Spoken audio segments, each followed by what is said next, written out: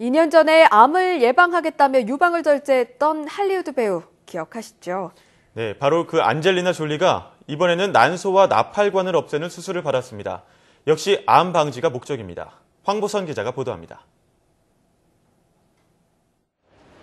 여배우 엔젤리나 졸리의 과단성이 또 입증됐습니다.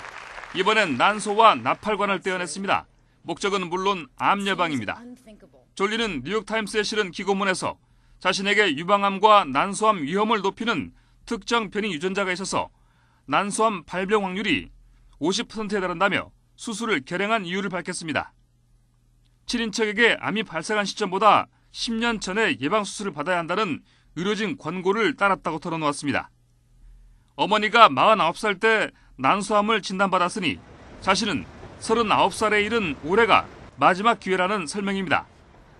실제로 졸리의 어머니를 비롯해 졸리의 외조모와 이모들은 모두 난소암으로 사망했습니다. 졸리는 유방 결제술보다 복잡하지 않아도 여성을 폐경기로 이끄는 수술을 받았다며 아픈 심정을 토로했습니다. 졸리처럼 행동하는 사례가 희귀하지는 않다고 전문가들은 말합니다. They're empowered with the knowledge about what's right for them and they use that to make the right choices for them.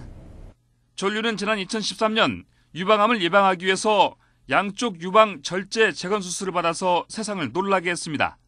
그땐 유방암에 걸릴 확률이 87%라는 진단에 수술을 감행했습니다.